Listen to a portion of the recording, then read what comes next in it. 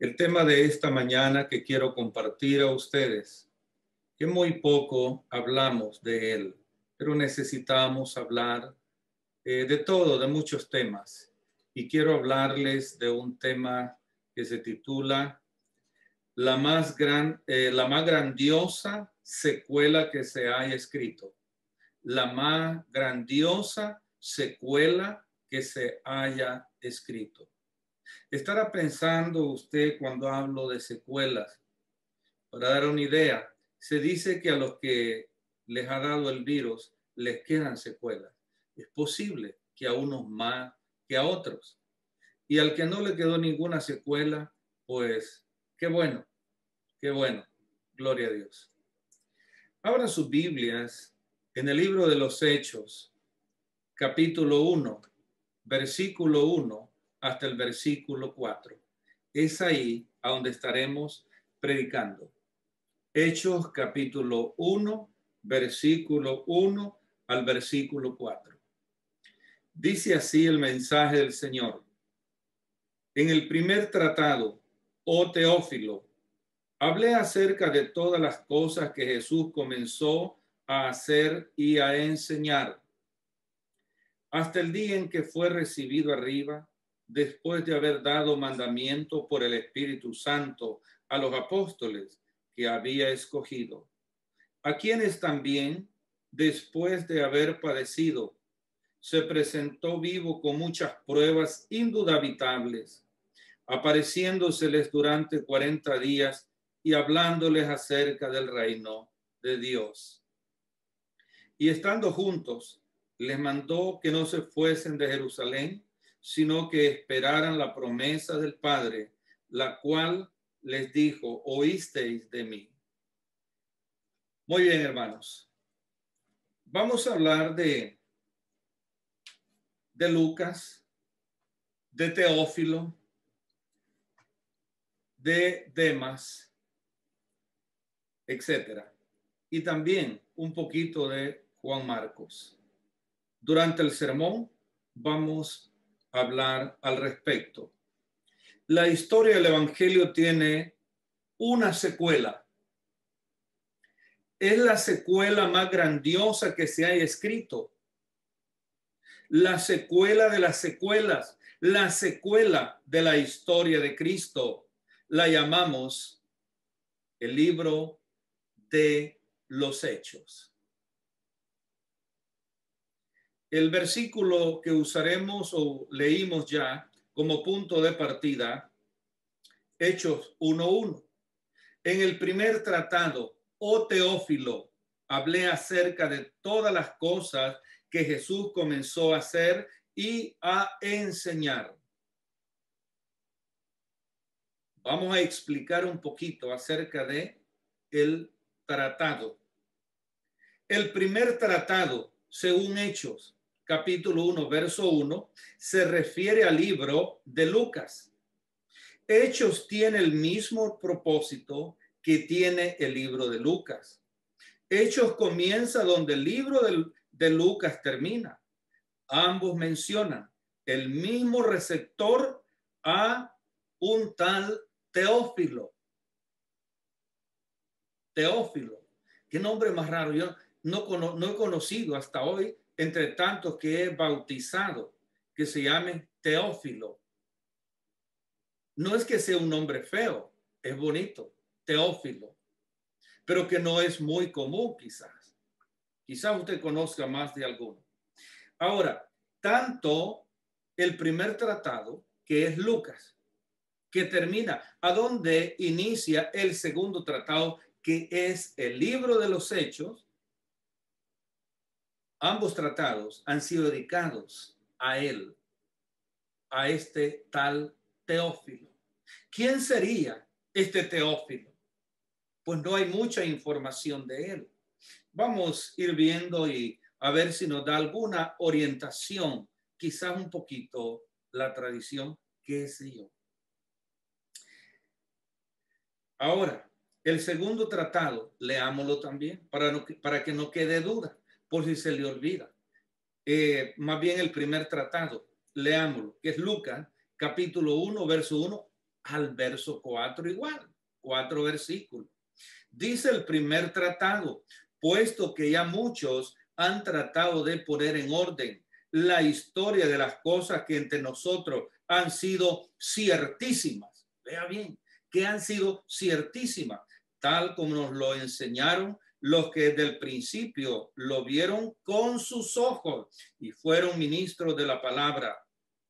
Me ha parecido también a mí, después de haber investigado con diligencia todas las cosas desde su origen, escribírtela por orden, oh excelentísimo Teófilo, excelentísimo, le llama, oh excelentísimo Teófilo, verso 4, pongámosle cuidado, para que conozcas bien la verdad de las cosas en las cuales has sido instruido. Aquí ya identificamos un poco a este tal Teófilo.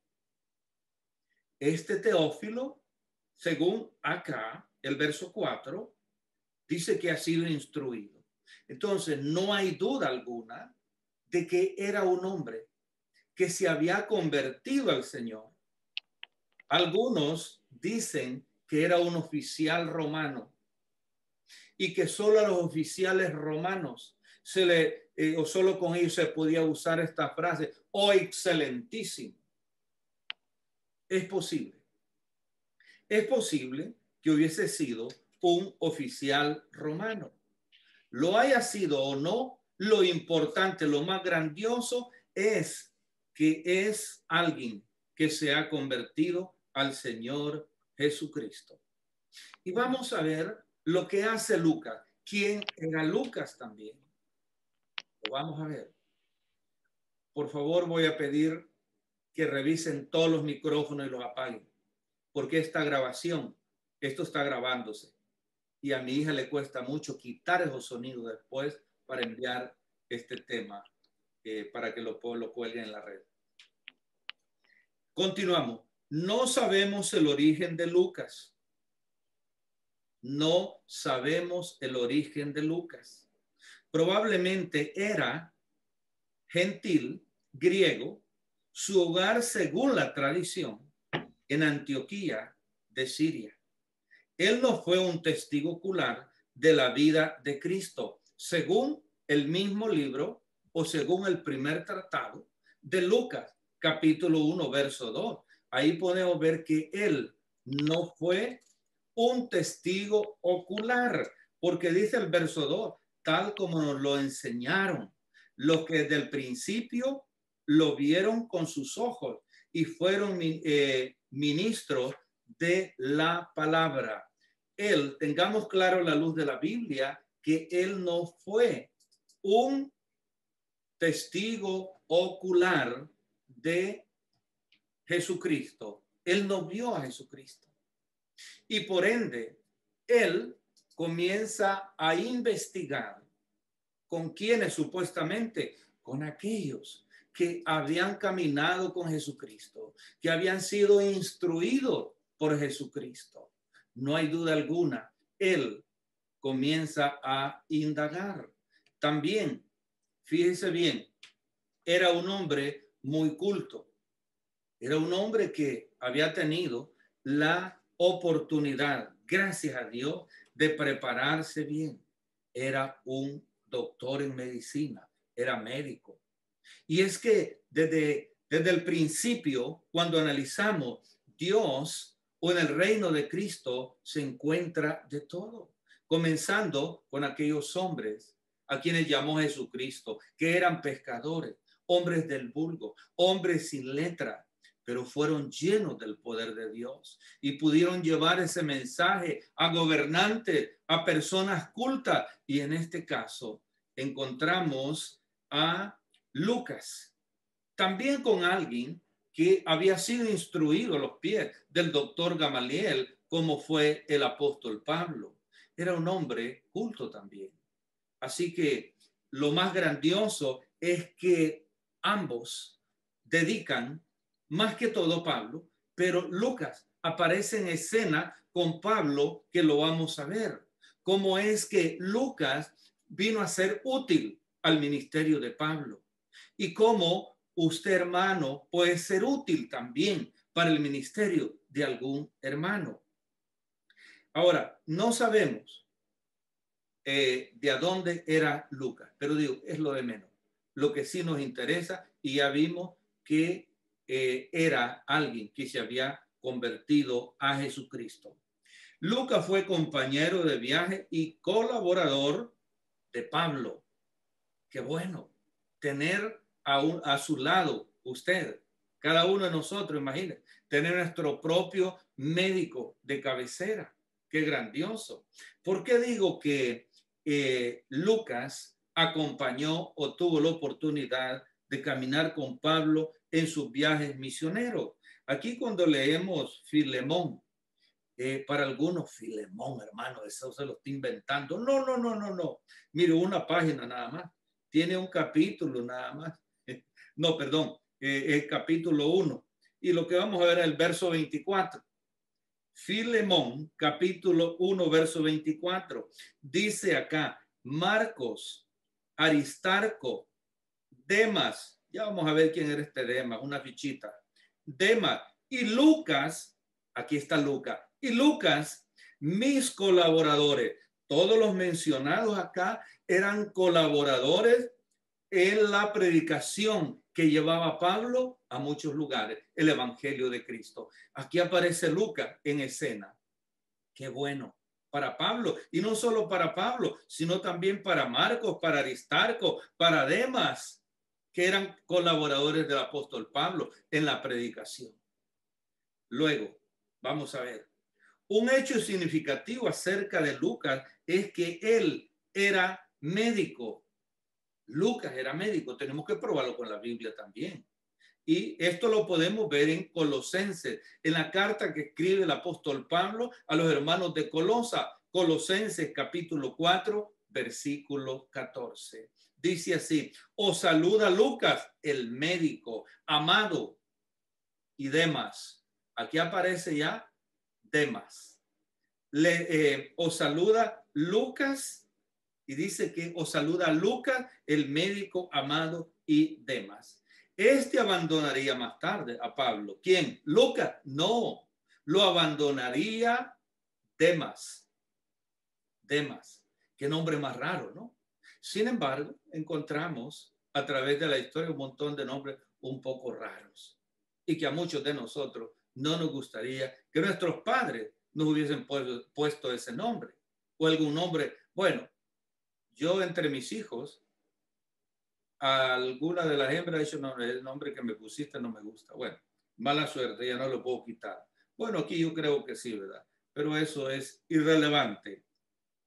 Entonces, Lucas, aquí comprobamos a la luz de la Biblia que era médico y que acompañaba al apóstol Pablo y al resto de los colaboradores. Qué bueno, no solo para Pablo, sino para el resto de la hermandad. Aparte que el Espíritu de Dios estaba en ellos, estaba en ellos, pues si algún algún percance, alguna situación adversa en el camino, pues ahí llevaban un médico. Qué bueno, gloria a Dios. Qué bueno que eh, no podían quejarse en ese sentido. Considerando los problemas físicos de Pablo, Lucas era de gran bendición para él, según eh, segunda de Corintios. Usted lo puede leer, se lo dejo como tarea. Segunda de Corintios capítulo 12, verso 7 al verso 10. Eh, el abuso que su cuerpo recibía, también segunda de Corintios 11, 23 al 27. El abuso que su cuerpo recibía, el cuerpo de quién? De Pablo. De Pablo. En la clase ustedes mencionaban, aquí lo va a encontrar en 2 Corintios 11, 23 al 27. Estaban hablando ustedes de un aguijón. Bueno, Pablo tenía una, un aguijón que no se sabe qué clase de aguijón era. Que uno que era esto, que era el otro. El asunto, lo real que tenía un aguijón. Dice acá en estos versos que él había orado al Señor tres veces. Y el Señor le había dicho, bástate de mi gracia. ¿Y por qué Pablo? Se preguntará usted. Pablo había orado por muchos. Era un hombre que en él habitaba el Espíritu de Dios. ¿Y por qué el Señor no le sana? Ha orado tres veces. Imaginémonos a Pablo orando, un hombre fervoroso, un hombre de garras en la fe. Sin embargo, Dios no quiso curarlo. No quiso. Bástate de mi gracia. Hermanos, nosotros también, en nuestra vida cotidiana, quizás tengamos algún aguijón, algún dolor, alguna situación difícil que ni usted ni yo quisiéramos tenerla. Y quizás hemos ayunado, no solamente orado fervientemente, sino que hemos ayunado. Sin embargo, ahí sigue el problema, ahí sigue la enfermedad que no se va. Hermanos, el apóstol Pablo, no hay duda que tuvo que acostumbrarse. Tuvo que acostumbrarse mientras se llegaba el día en el cual el domingo pasado hablamos a dónde debía de partir, dónde necesitaba despedirse de este joven Timoteo y de todos sus colaboradores, de toda la hermandad. Tenía que despedirse y lo hizo. Ahora, seguimos adelante, hermanos. Uno de los colaboradores abandonó a Pablo. ¿Quién de los mencionados fue que abandonó a Pablo. Veamos segunda de Corintios capítulo 12, verso 7 al verso 10. Eh, no, perdón, eh, esta cita ya la di. Segunda de Corintios 12, 7 al 10 y segunda de Corintios 11, 23 al 27. Esa cita ya la di. Ahora, donde encontramos quién de los colaboradores fue que abandonó a Pablo es en segunda de Timoteo, capítulo 4, versículo 10 al verso 11. Porque Demas, ya lo mencionamos, porque Demas me ha abandonado. Aquí lo abandona, amando este mundo y se ha ido a Tesalónica. Crescente fue a Galacia y Tito a Dalmacia. Estos dos últimos no lo han abandonado. Debemos entender eso que estos dos últimos que son mencionados, ellos fueron a predicar diligentemente, a hacer su labor, pero acá de los tres, Demas eh, lo ha abandonado.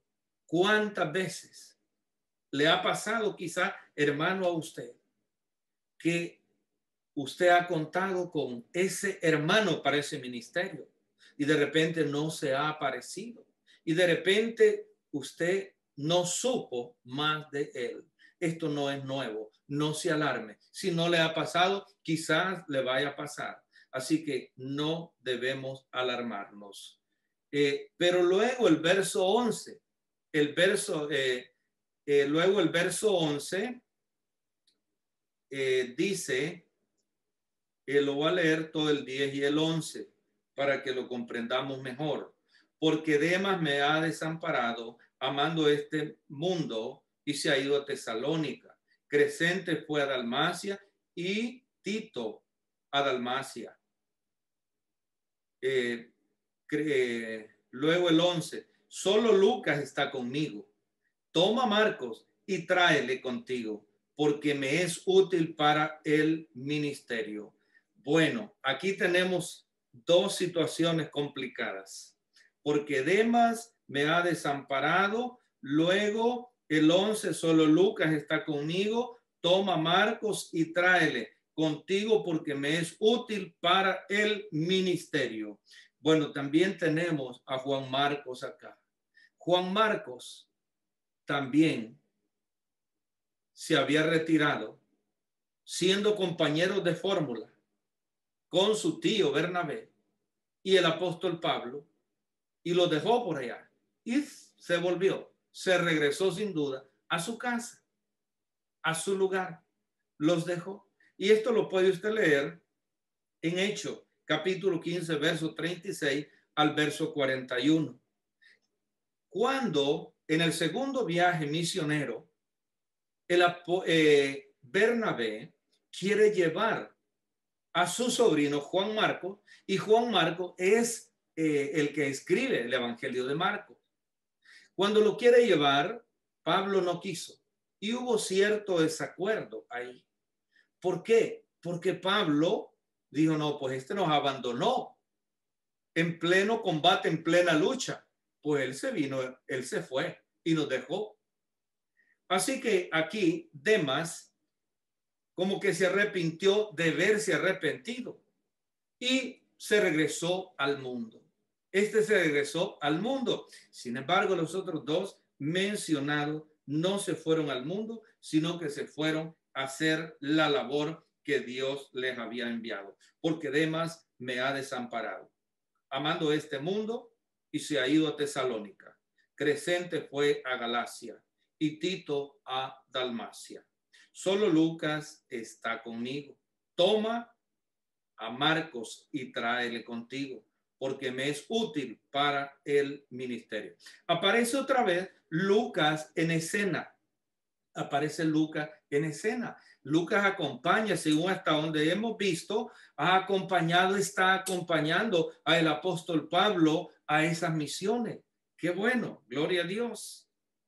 Lucas tenía un propósito misionero, según Hechos 1.2. ¿Cuál era? Leamos lo que ya lo leímos, pero vamos a releerlo de nuevo. Hasta el día en que fue recibido arriba, después de haber dado mandamiento por el Espíritu Santo a los apóstoles que había escogido. Entonces, él está indagando. A él le interesa saber todo a fondo, a ciencia cierta, para escribir. Y fue así como él escribió a este hermano llamado Teófilo, el primer volumen y el segundo volumen. Vamos a ver en sí qué más era Lucas, eh, qué más, qué concepto eh, podemos tener de Lucas. Lucas tenía un propósito apologético, tenía un propósito apologético. Usted y yo necesitamos ser apologistas. Necesitamos ser apologistas. Pero hermano, ya me enredó. ¿Qué significa eso? Se lo voy a explicar técnicamente. ¿Qué es eh, todo ello. La palabra apolo, apolo eh, perdón, la palabra apologético viene de la palabra griega apología, apología, que significa defensa. Eso significa apología, defensa. En los días de Lucas, estaban circulando conceptos falsos acerca de Cristo y el cristianismo. El cristianismo era la secta de la que en todas partes se hablaba en contra de ella. Esto lo puede leer en Hechos, capítulo 28, versículo 17 al verso 25. Aquí en esta ocasión es cuando Pablo ha sido arrestado y él pidió eh, apelar a César. Él apeló a César. O sea, él pidió defenderse frente a César cara a cara. Para ello, tuvo que viajar o tuvieron que llevarlo cautivo al imperio romano, a Roma. Entonces, cuando él llega y se mantuvo en una casa de alquiler, para mientras se llegaba eh, eh, el juicio donde tenía que presentar su defensa ante César, él mandó a llamar a los judíos de la comunidad, a los judíos principales, para hacerles del conocimiento por qué razón estaba ahí en esas condiciones. Ellos le respondieron. Usted lo va a leer lo que le estoy diciendo, los versos que le di, en el capítulo y versículos que le di. Ellos le dijeron, pues no hemos recibido carta de Judea, no sabemos nada, pero Pablo les pone sobre aviso por qué razón él había apelado a César. De tal manera, hermanos, que no fue fácil, me imagino, para el apóstol Pablo pasar todas todos estos inconvenientes por el ministerio de Cristo o por llevar el mensaje de Cristo a cuantos le fuera posible. Así que continuamos. El relato de Lucas de la Gran Comisión se encuentra en Lucas capítulo 24, versículo 44 hasta el 49. Pero le voy a leer nada más el 44 y el resto, usted por favor lo lee en su casa despacio. Dice acá el verso 44 de Lucas 24 y les dijo, ¿quién? Jesucristo. Y les dijo, estas, eh, estas son las palabras que os hablé estando aún con vosotros, que era necesario que se cumpliese todo lo que está escrito de mí. Oiga bien, en la ley de Moisés, en los profetas y en los salmos estaba escrito de Cristo. Eso lo sabemos. Cuando leemos Luke, eh, por ejemplo, Isaías 53 y en otros libros, vemos las profecías acerca de Cristo. Pero acá está diciéndole, les está recordando y les dijo, estas son las palabras que os hablé estando aún con vosotros, que era necesario que se cumpliese todo lo que está escrito de mí en la ley de Moisés, en los profetas y en los salmos. Ahí usted va a encontrar lo que se decía del Mesías, de Emanuel, Dios con nosotros. El relato de Lucas de la gran comisión, no se le olvide, leer el resto de los versículos en su hogar. Recibirían poder y serían testigos. ¿Quiénes? Los apóstoles recibirían poder y serían testigos. Hechos, volvemos a Hechos, solamente que acá vamos a ver Hechos 1, Hechos 1, versículo 8. Pero recibiréis poder cuando haya venido sobre vosotros el Espíritu Santo y me seréis testigos en Jerusalén, en toda Judea, en Samaria y hasta lo último de la tierra. Siguen siendo testigos. Y es lo que estamos viendo. Lucas no fue un testigo ocular, pero investigó, indagó, para escribir estas grandes verdades, las cuales estamos leyendo, las cuales tenemos en nuestra vida para aplicarla. ¿Qué podemos aprender? Podemos aprender mucho de Pablo, de Lucas, de sus colaboradores positivos, no de los negativos. No de los negativos. Quizás diría alguien, no, yo puedo aprender de lo negativo. ¿En qué forma? Para no hacer lo que él hizo. está bien. Está bien, hermano. Recibirían poder.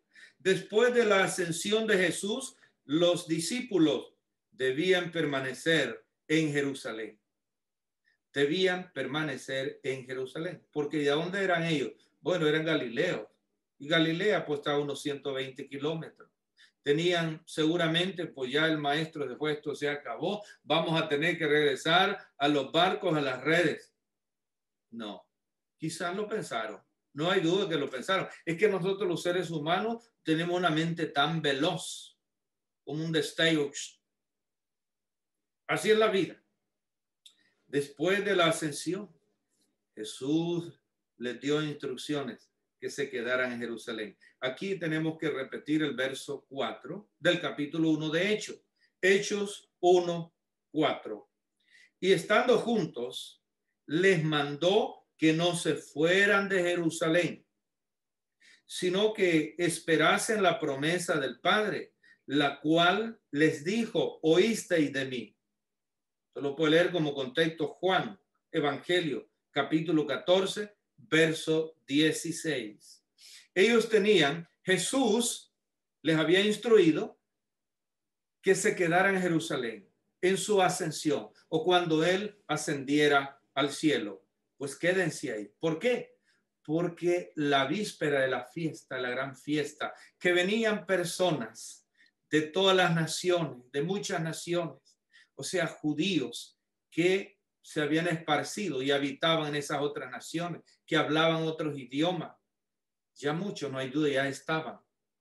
Ya estaban en los mesones. Hay quien dice, no, pues morir temprano para dar el mejor hotel, bueno, el mejor mesón en ese tiempo, para eh, coger la, una panorámica para esto, para el otro. Si está a la orilla de la playa, para ver las olas y todo.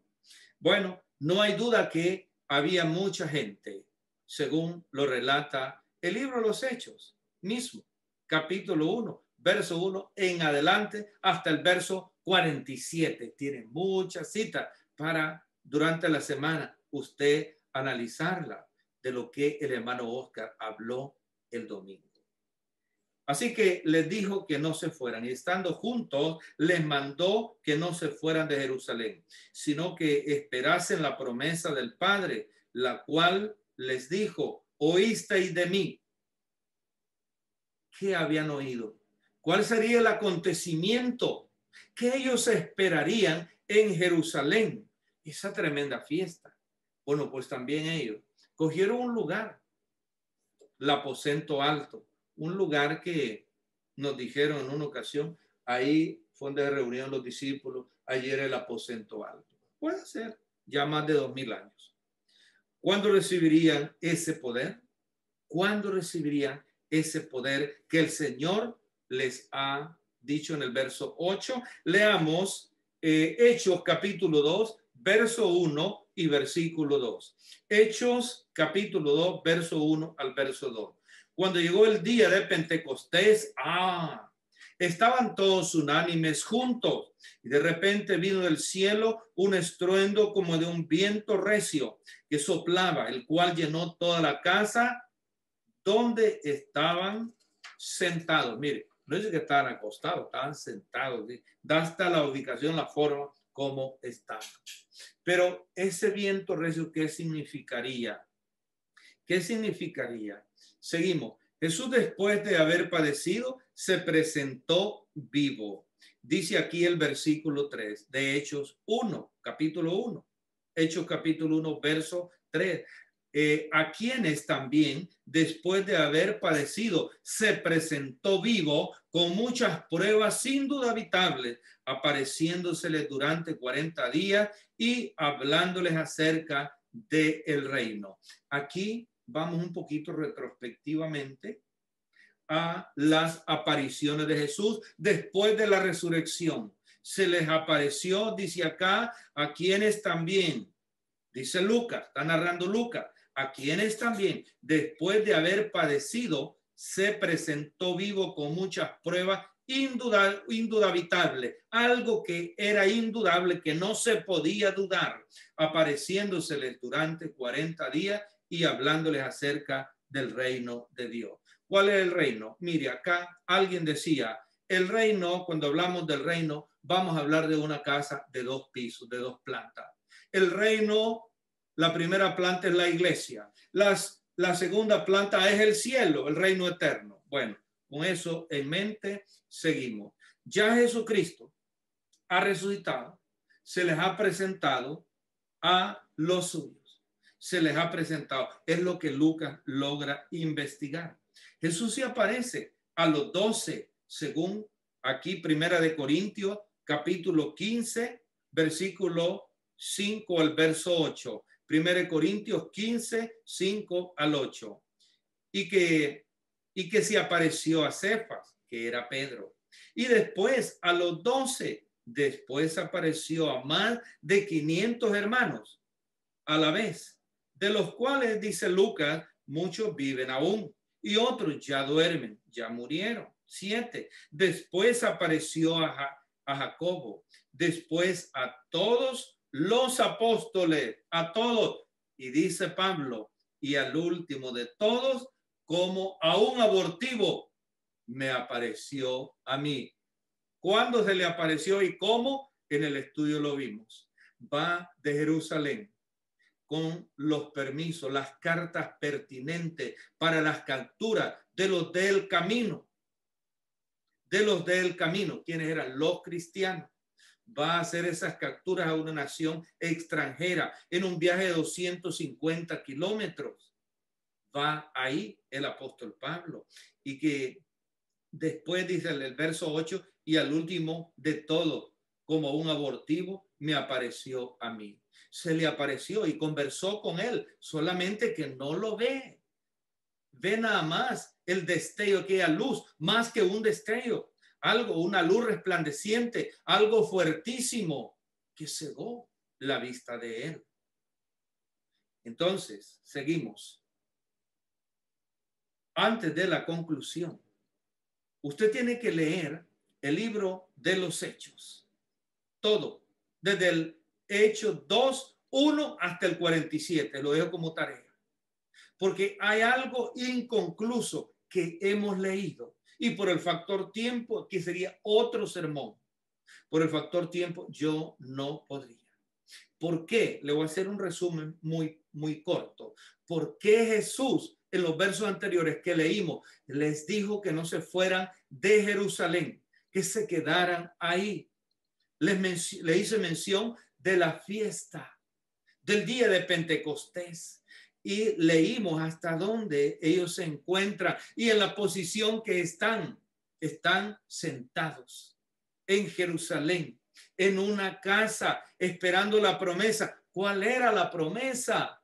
La promesa era que el Espíritu Santo descendería sobre ellos, los doce, los doce hechos, uno en adelante. Vemos 120 según acontecimiento, pero Hechos 2, 1 al 47, ese es otro acontecimiento y es grandísimo. Todos los acontecimientos hablando de Dios son grandes, pero este es más grande. ¿Por qué? Porque es cuando usted va al versículo 14 de Hechos 2, 14.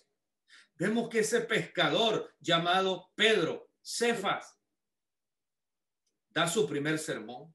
Y ese sermón, o en ese sermón, ha citado a Joel, uno de los profetas, 2.28. Luego sigue avanzando y el sermón logra impactar como a tres mil personas. ¿Cuándo? ¿Cómo? Se ven los efectos. En el verso 36 y 37 de Hechos 2. En el verso 37, muchas personas han entendido. Sus corazones han sido conmovidos porque Pedro ha manifestado la muerte de Cristo, que ha muerto por nuestros pecados. Pregunta el verso 37 a Pedro y los demás, varones hermanos, ¿qué haremos?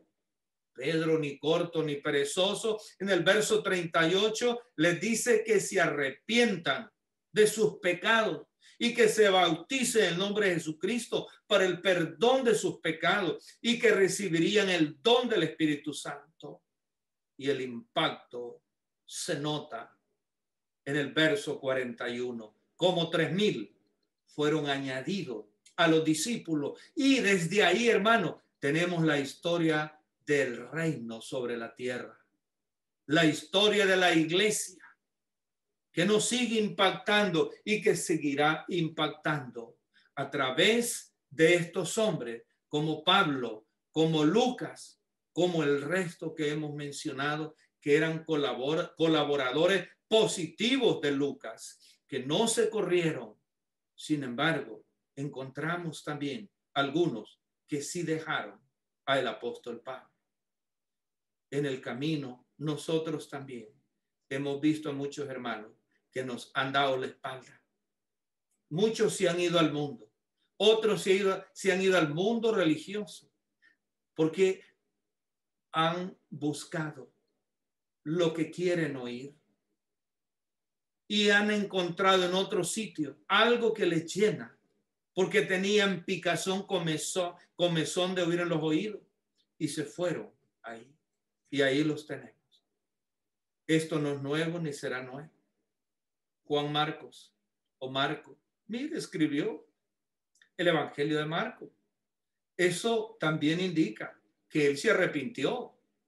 No hay duda, no aparece en la Biblia, de que más tarde le hubiese pedido disculpas al apóstol Pablo. Mira, hermano Pablo, perdóname por informal, por botayugo que soy, hombre. Mira, lo dejé como un irresponsable allá, a ti y a mi tío Bernabé, y yo me fui. a buscarlo cómodo. No aparece, pero es posible para que él escribiese el Evangelio de Marcos que tenemos. Entonces, no hay duda de que lo hizo, pero que no aparece. Así como muchos, de igual manera, se han ido al mundo o se han ido a otros grupos religiosos, pero después han venido, han recapacitado y el Espíritu de Dios y la palabra, que es espíritu, que es vida, les ha convencido, porque Dios es el que convence, no el hombre. Y han venido de nuevo buscando al Señor, rendido a sus pies. En la conclusión, cuando leemos el libro de los hechos, nos llena de emoción y de preocupación. Dos cosas. ¿Por qué de emoción? ¿Y por qué de preocupación? La puedo entender de emoción, pero menos de preocupación. Despacio. Nos emociona saber lo que los primeros cristianos hicieron por el Señor. ¿Qué usted, hermano, hermana, está haciendo por el Señor? O amigo, ¿qué usted está haciendo por el Señor? Nos emociona saber lo que los primeros cristianos hicieron por el Señor. Por otra parte, nos preocupa comparar la iglesia primitiva con nosotros mismos. ¿Por qué? ¿Por qué, hermano? Si estamos conectando siempre, nos estamos reuniendo siempre. Pudiera ser que es, bueno, es bueno, no hay duda. nos preocupa, perdón, eh, los primeros cristianos trastornaron el mundo, hermanos, impactaron, llevando las buenas nuevas a todas partes, a todo Israel, Siria, el Asia Menor, Grecia, y llegó hasta Roma, porque era el mundo moderno de esos tiempos. No hay, no hay mención de Egipto y los otros países, pero no hay duda. Solo tenemos al etíope que se dice que llevó el evangelio a Etiopía. Bueno, esa es la preocupación, hermanos. Ahora, los cristianos del primer siglo, si usted a lectura ha hecho 17.6, va a encontrar que trastornaron el mundo. ¿Por qué? Porque cuando pusieron en la cárcel a algunos de ellos. Ángeles los sacaron de la misma y quedaron burlados. Se sintieron trastornadas las autoridades. ¿Cómo es que estos hombres con una gran seguridad, entre ellos Pedro y Juan, habían sido liberados? Trastornaron el mundo. Dios, con su poder a través de ellos y llevando el Evangelio de Cristo a cuántos les era posible. El mundo se sintió trastornado. Muchos de nosotros no hemos ni siquiera logrado que se estremezca un poquito así. Nada. Mejor el mundo como que va avanzando y nos va absorbiendo a través de muchos sistemas de una forma suspicaz el diablo, en vez de que nosotros contagiemos, invadamos al mundo con el Evangelio de Cristo, parece ser que el diablo a través del mundo como que nos va absorbiendo. Eso es muy preocupante y tiene que ser muy preocupante. Mi esperanza es que tomemos algo del espíritu eso, de esos pioneros de la fe y de nuevo nos convirtamos a un pueblo de gente que es tremendamente fiel al Señor y que hace temblar al mundo llevando el Evangelio de Cristo. ¿Usted cree eso? ¿Cree que puede ser posible? Me dirá, sí, hermano, yo creo. Manos a la obra. No permitamos que el mundo nos absorba. Estos hombres trastornaron al mundo. Nosotros necesitamos impactar a este mundo llevando la palabra de Dios Y no solamente eso, viviéndola, que es la mejor predicación y el mejor ejemplo. Que el Señor les guarde.